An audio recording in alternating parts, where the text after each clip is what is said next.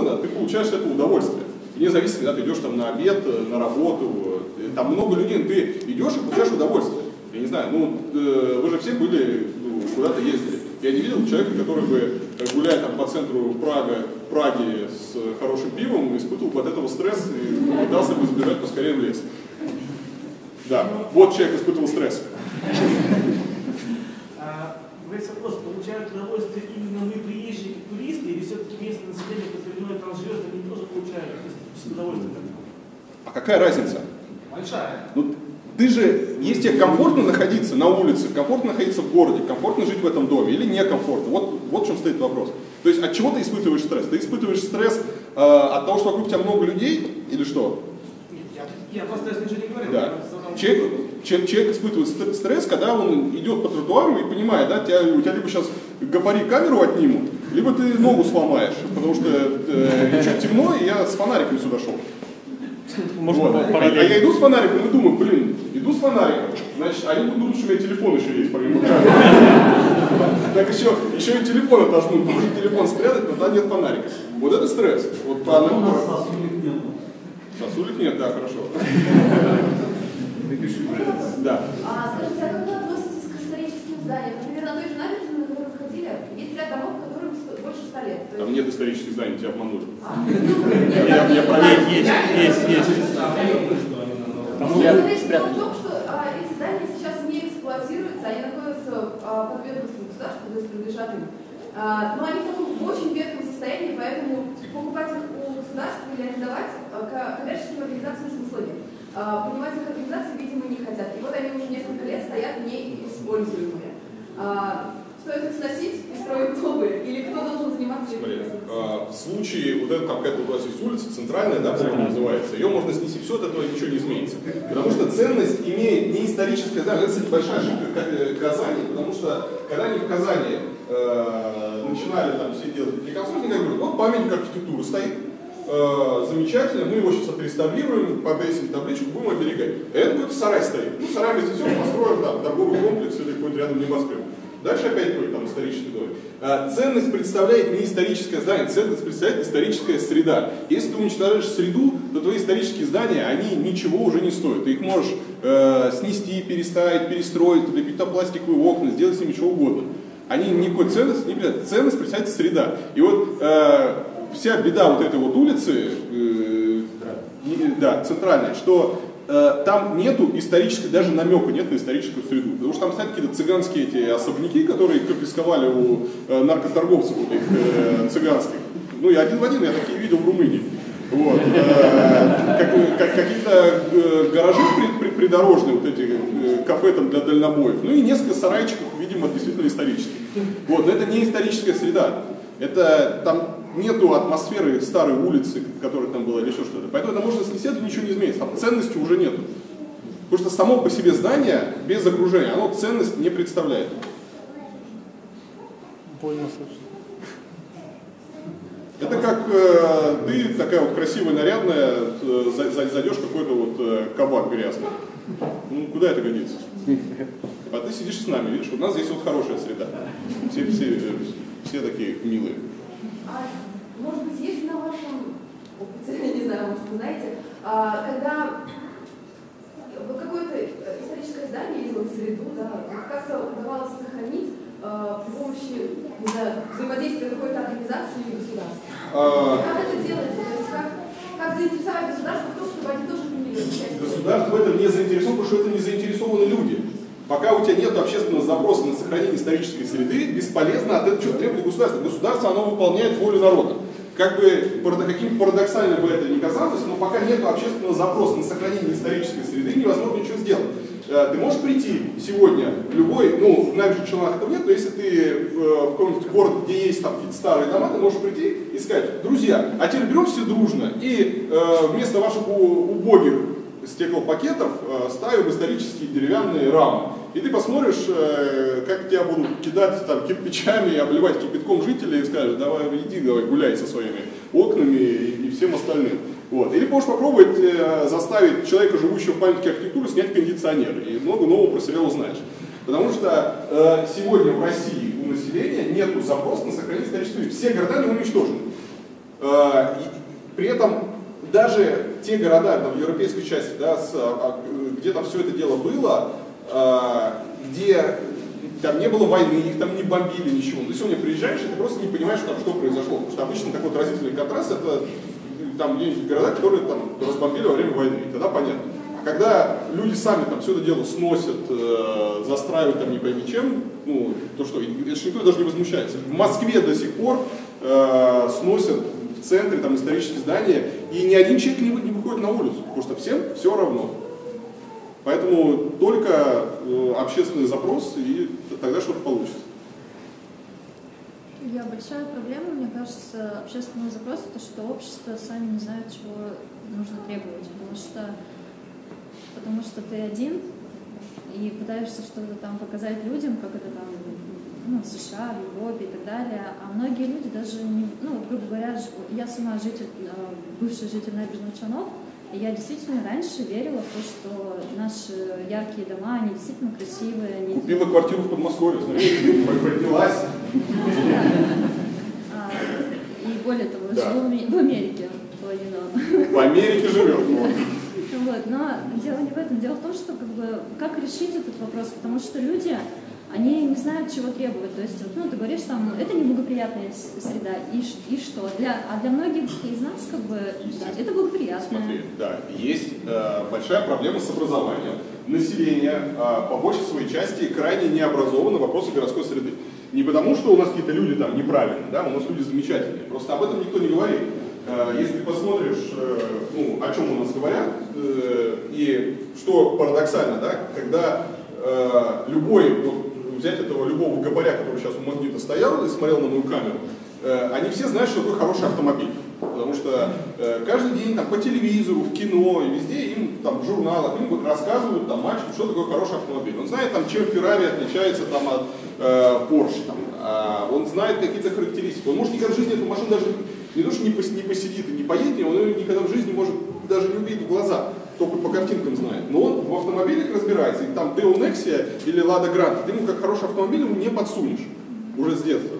Люди примерно знают, что такое хорошая еда, потому что каждое утро в утренних шоу у тебя в кулинарной тебе рассказывают, что такое хорошая еда. Э, почти каждый там слышит, что есть какие-то рейтинги, там Мишлен, какие-то звезды есть, и э, какие-то есть высокая кухня, есть какие-то повара, и вот э, что-то есть какая-то там фуагра, лобстер, хотя мало кто там это пробовал из ну, простых людей. Но тем не менее, а, они это знают. А что такое э, комфортная городская среда, хорошая архитектура, не знает никто. Потому что это нигде не говорят, это э, нигде не объясняют. Хотя, казалось бы, это гораздо важнее, потому что от этого зависит жизнь. Люди в этом живут, а не понимают. Поэтому приходится, приходится вот этими руками каждый день, да, по три поста в день писать. Ну что поделать. Да. Хотел бы узнать ваше мнение про проект Венера, как фреска, ресурсоориентированную экономику, и как думаете, это сможем наши сделать это? Первый раз слышу. Проект Венера, Жак Фреска? Что? Жак Проект Венера, Жак Фреска. Никто не слышал? Я слышал. Ну, это, то есть предлагается то, что на заводах везде будут работать роботы, а люди, получается, будут а. зарплату получать просто так. Потрясающе. Безусловный доход, да. Швейцария не прокатила. Хотел узнать ваше мнение, как думаете, это вообще возможно? Про, ну, я понял, нет, ну, а, рано или поздно э, к этому все идет, и э, я не знаю, случится ли это там при нашей жизни, но э, от, от этого никуда не деться, то есть это как такой э, неизбежный факт, потому что с там, развитием технологий понятно, что то количество Э, рабочих мест, которые сейчас есть, и оно будет не нужно. Ну, начиная от автомобилей, которые уже сегодня там автопилоты здорово катаются. Я сам из Нью-Йорка до Филадельфии на Тесле ехал, не держась за руль. Вот, это было здорово. То есть, э, ну, рано или поздно это случится, ничего с этим не поделаешь. Ну, а, а, а как с этим будет, я не знаю. Но это очень сложная тема. Э, если мы сейчас начнем обсуждать, мы не обсудим по городам. Да. Полгода назад на местном съезде предпринимателей была презентация проекта «Адаптивный светофор». Это светофор, который переключается не по таймеру, а анализирует состояние загруженности дороги и переключается зависимости от Вот на данный момент эта идея а, не получила поддержку администрации. Ваше мнение о перспективе этого? А, Во многих странах это есть, и как управление трафиком, да, но должна быть комплексная система масштаба города, когда с- светофоры настраиваются и меняются в зависимости от э, загрузки дорог. Да. Нет, это в крупных городах, э, во многих эта э, система работы и очень эффективно себя показывает. Вопрос. А вот э, ночь длинных кафе, она случилась по как бы, общественному запросу или личному мнению чиновника? Что еще раз? Ночь длинных кафе в Москве случилась по общественному запросу или личному мнению чиновника, что рынка там не должно быть? Как вы относитесь вот, к конфликту вот, государства и э, частной собственности? А, Это очень сложный момент. Случился это исключительно, конечно, по общественному запросу, потому что э, пиарщики мэрии принесли Собянину э, там, замер, там, что, что хорошего можно сделать, и они увидели, что э, людей достали вот эти вот все ларьки, у метро там все это дело там облепленное, вот, и их было решено сносить. А, история в чем сложная, да, что с одной стороны, действительно там, ка- казалось бы, там частная собственность, у человека есть там его ларечек с шаурмой, который стоит там около метро, вот, и трогать его нельзя. А с другой стороны, э, во многих случаях там все понимают, как эта собственность была получена. То есть она была там получена не, не совсем на правильным путем. Но, э, на мой взгляд, мэрия отработала тем неправильно. То есть, э, на мой взгляд, это можно было решить вопрос красиво, э, договорившись с людьми, выкупив у них, вне зависимости от того, как там было получено, ну, уже что, да, там, кто, кто как получал, кто как перепродавал, там, какой смысл сейчас это обсуждать. То есть э, выкупить у людей э, все эти ларечки и благополучно их снести. Тогда эта история была бы очень красивая и все. Но у нас, к сожалению, э, проще работать дубиной и взяли все снесли. Стало лучше, но э, как это было сделано, сделано было плохо. Илья, вы говорите то, что повлиять на городскую среду можно путем вот именно формирования запроса, информирования, либо ждать, пока будет федеральная какая-то программа. Как вот сейчас рабочий, студент, каждый из нас может положительно повлиять на городскую среду? Что для этого нужно сделать? Для этого нужно ставить лайк моим постам. Надо относиться к информированию. Слушай, ну э, требуйте перемен, ну что, и они будут происходить. То есть э, у, у тебя же в городе что-то меняется не потому, что э, у тебя вдруг э, э, президент там, Татарстан вдруг проснулся и думает, а не, не пригласить ли мне там, э, не выписать ли мне из Москвы какую-нибудь там крутую тетку, которая, которая разбирается в, там, в парках общественных пространств, и пусть она здесь что-то делает. Он же не, это не, не- не так вот случайно с утра понял. Он это понял, потому что увидел, что в этом, э, что люди этого хотят, что люди хотят, там, чтобы что-то менялось и что пора. И начал искать там хороших специалистов и их там привлекать. Когда он увидит, что таких людей будет больше и что людям нравится то, что происходит, или наоборот там не нравится, вот, и, э, то будет больше проектов, будут там деньги выделяться. А можно в продолжение? То есть, вот, например, а, по поводу квар- кварталов микрорайонов, мы поняли, но мы потребители, а застройщики, как э, вот им Когда ты покупать, что мы когда ты другое? покупать не будешь квартиры в плохих домах, вот э, вас как зовут?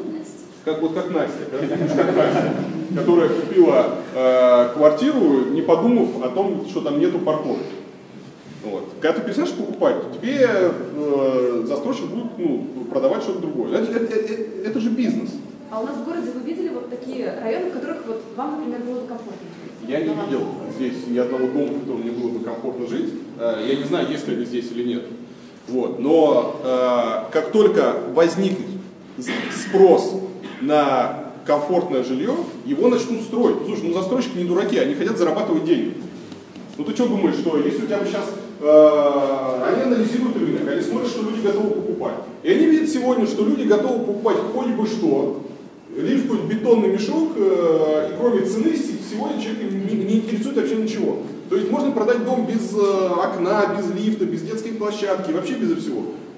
Потому что сегодня потребителя недвижимости интересует только цена за свой бетонный мешок, за квадратный метр. Все. Поэтому, э, э, как- это успех? Идешь на завод там, железобетонных изделий, покупаешь там какие-нибудь плиты э, стандартные, лепишь свой, свой там 9, 15, 20, там, 30 этажный домик и вешаешь рекламу. э, квартиры от 500 тысяч студии.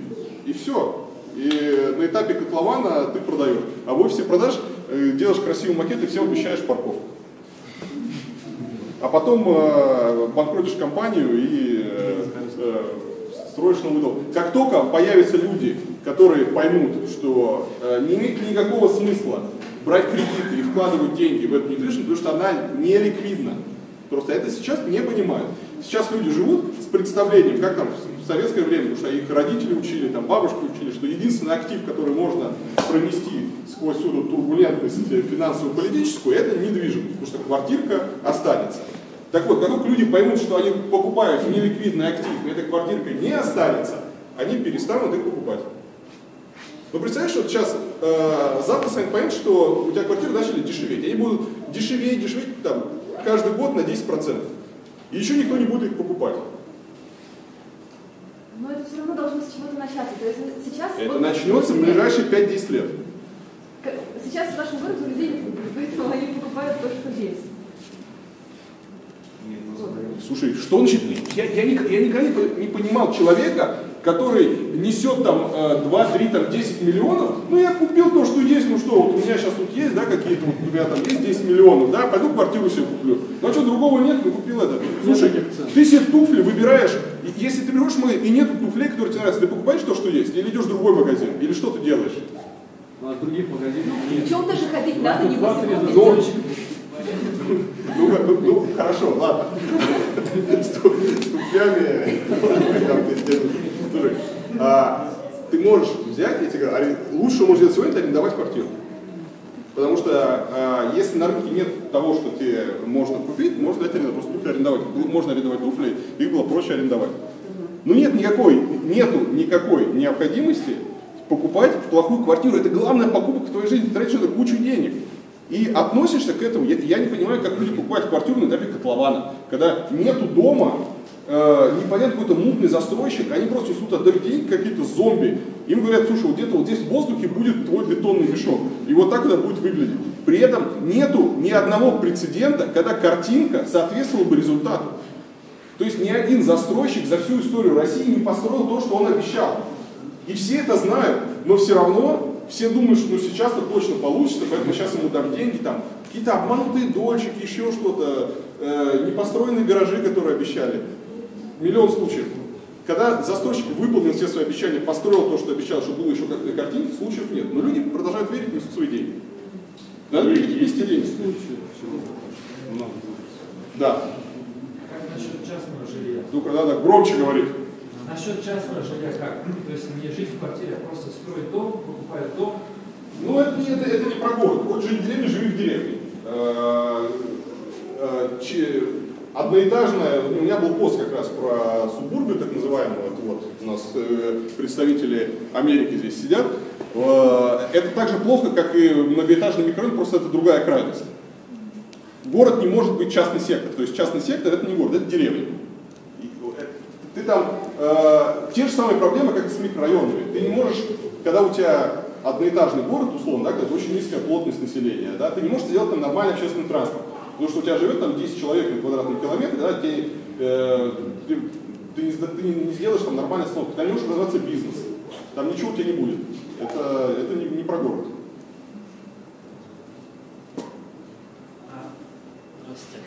Какова роль учебных заведений в городах, потому что вот, ну, если вот брать, например, набережные Челны Казань, а, половина, наверное, населения молодого, особенно те вот выпускники и так далее, они уезжают в Санкт-Петербург, в Казань, в Москву. Ну и получается у нас такой город очень голый остается, и все вот, вся эта активная молодежь, умная и не очень, она, получается, переезжает, эмигрирует в более большие города, более интересные. Ну и вообще такая централизация происходит, уплотнение больших городов, где, может быть, инфраструктура лучше, а у нас вот как-то все грустненько и одна, одна гопота Вот. А, вопрос в чем? А, какова роль учебных заведений? То есть потому что многие уезжают учиться и не приезжают обратно они не приезжают обратно, потому что нечего делать. Ну, то есть, если бы здесь э, относительно, ну, опять же, если брать на мировой опыт, то ты, если ты посмотришь, там студенческие э, все там городки, их вообще принято в чистое поле увозить, чтобы у студентов не было соблазн.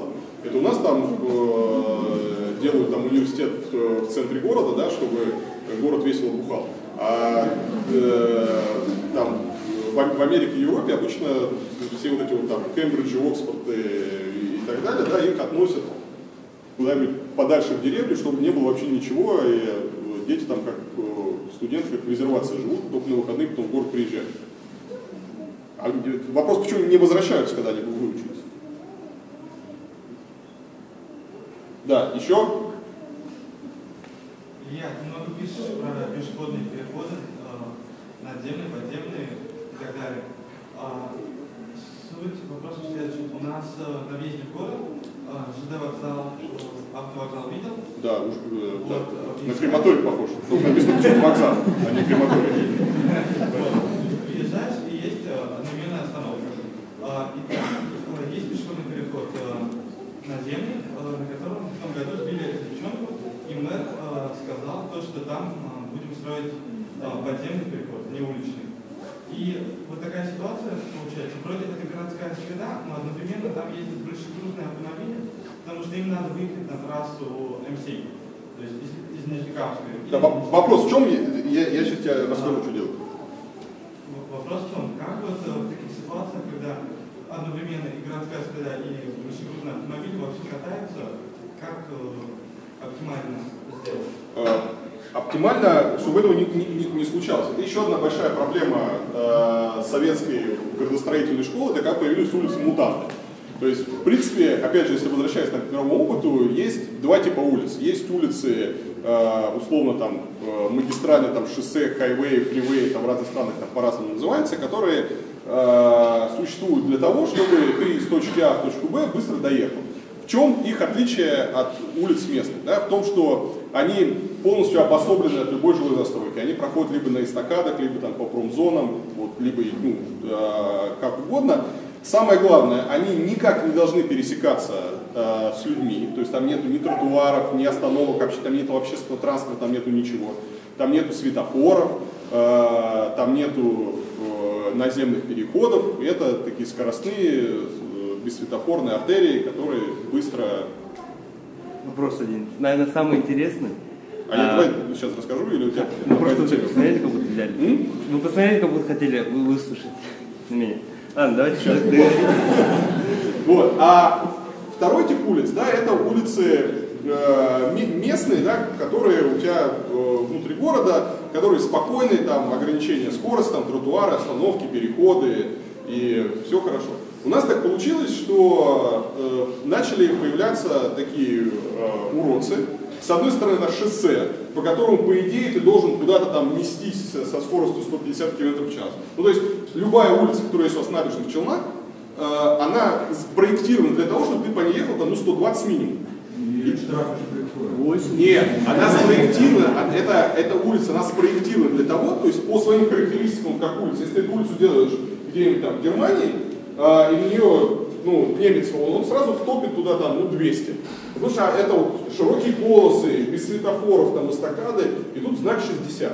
И это у, вот, у любого там, европейца, американца, который сюда приедет, почему ну, тут разрыв шаблона, потому что ты с одной стороны, ты видишь улицу, которая спроектирована там, для того, чтобы ты по ней гнал, с другой у тебя стоит знак 60, и вроде это город.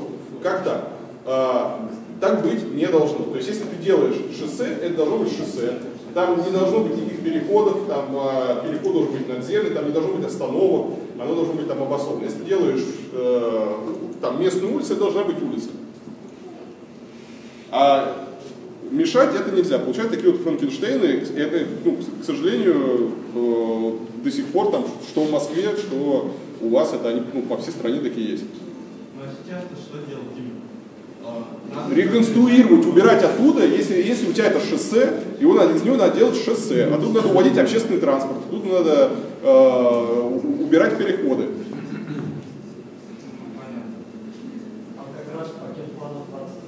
Только надо громко говорить, потому что я батарейки в слуховом аппарате у меня сели уже и... По генплану 2030 дорогу переносится Потрясающе, видишь, уже решили, что делать и без нас. Да, давай. Вот самый, наверное, интересный вопрос. О нашем городе будет видео или пост, даже хотя бы в плохом, как бы, Будет. Видишь, у меня, видишь, у меня камера, и я э, снимаю. Я смотрю, еще если кто-то, кто-то еще снимает, я потом э, заберу. Камеру. Конфискую. Конфискую записи. Да, давайте еще три вопроса, потому что завтра рабочий день. Да? Вот, три вопроса. Как раз Илья вопрос по поводу... Быстро, как блиц. Забрать камеру. Спрашиваю, почему вас так ярко хотят сбить в разных городах? То есть Меня в посте я больше не хотят. на приглашении там был человек, который написал э, «Ура, можно набить ему морду». И то есть вопрос в том, почему... Что за агрессия? Что за агрессия? Да, А, ну, это я спрашиваю у людей, Как которые нет? хотят кому-то набить морду. У меня желание кого-то, если, ну, если у меня кому-то есть, у меня агрессии нет. Вот. Если у кого-то появляется желание э, кого-то побить, надо с этим человеком ну, работать, спрашивать, почему он это хочет сделать. Не знаю, может там к психологу ему сходить. Ну, это ненормальное желание для человека. Да. Вопрос сложный, к сожалению, пришлось его оставить на конец этого мероприятия. Формирование общественного запроса. Какие вообще у нас в стране есть механизмы для того, чтобы человек с пламенем в сердце, моторчиком в известном месте мог начать формировать запрос, которого нет на текущий момент? Да. Эти механизм называется политика. За исключением выборов. Вот, допустим. А, вот это так и работает, чувак. Смотри, любые изменения, любые реформы возможны только э, через выборы, через политику. Как только ты, э, если ты считаешь, что ты можешь что-то делать вне политики, э, ты никогда ничего не сделаешь. Выборы, выборы, выборы. И, ну, нужно идти в политику тебе самому. Э, нужно активно вести политическую жизнь. И э, у тебя появятся все рычаги и инструменты. Но Ты представляешь, как, как есть суп без ложки? Никак. Палочками можно. Ну, допустим, выборы прошли. Ты сам не прошел. Должны быть какие-то гражданские механизмы по взаимодействию с властью. Той, которую уже избрали. Власть не заинтересована. Ты, мы же обсуждали про чиновника, власть не заинтересована с тобой никак взаимодействовать. Ты не нужен, вообще никак. И власть делает все, чтобы ты лишний раз к ней не лез. Если она делает какие-то институты, там, какие-то общественные палаты или еще что-то, это делает так, чтобы ты от нее как бы отстал и там иди, иди мальчик, и туда не лез. об Ты, если Как тобой взаимодействовать, не нужно. Не, не нужно никак с. Единственный инструмент, который работает, это выборы. Выборы. Поэтому под выборы Единая Россия сделала э, ком- проект комфортной городской среды. И э, я думал, конечно, в 18 но там, в следующем году, след- следующие выборы, э, на какой уже срок? На пятый срок Владимир Владимирович Путин пойдет с урбанистической повесткой. В 2024 году. Сейчас еще мы не дотянули, но в 2024 Владимир Владимирович Путин пойдет с урбанистической повесткой на пятый срок. Что ты такое говоришь?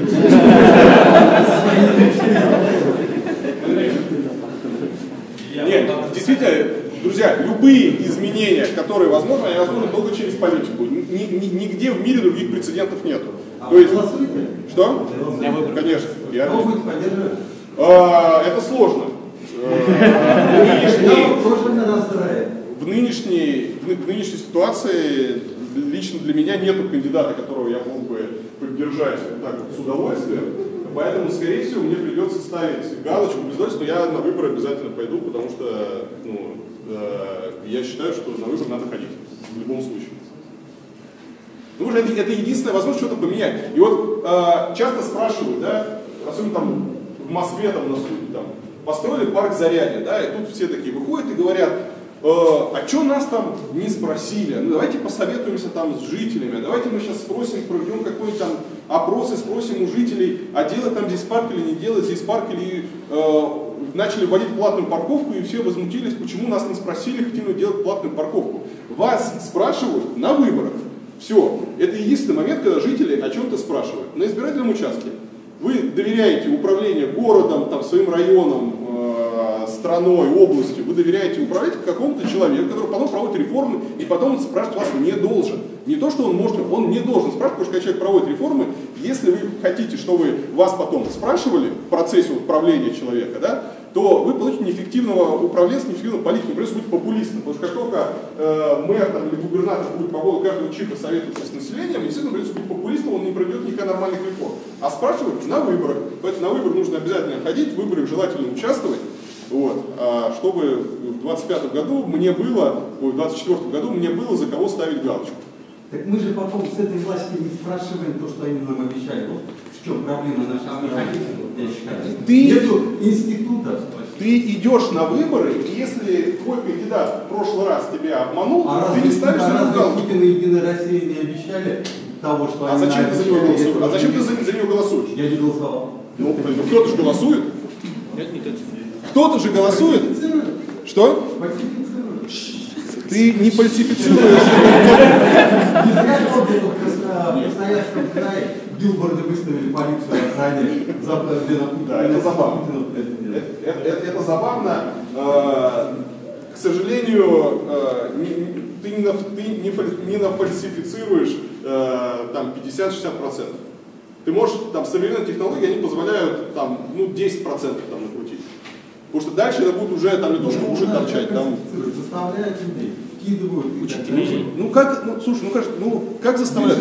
Вот сидит, да, учительница, я говорю, иди голосуй. Ну все, Да. она, ну, она, Ну, Надо вот какое-то сознание менять, чтобы люди мыслили. Надо менять. Надо И менять. Чтобы патриотизм не подменялся э, популизмом. Да, на этом а, мы закончим. Спасибо, что пришли, да. Вот.